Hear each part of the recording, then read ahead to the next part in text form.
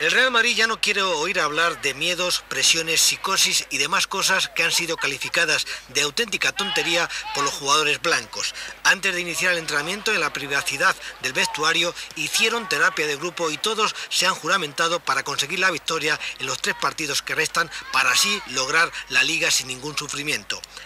Así en este momento se notan los grandes y los las personas grandes con personalidad y gente que, que en estas responsabilidades cae. A mí no me puede afectar la responsabilidad.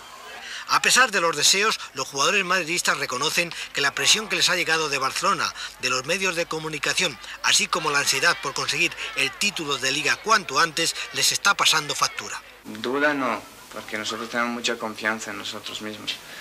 Pero la presión sí que se nota un poquito, es normal porque teníamos una ventaja muy importante, ahora solo son dos puntos, pero todavía son, son desventajas nuestras, entonces hay que, que tener eso siempre dentro de la cabeza.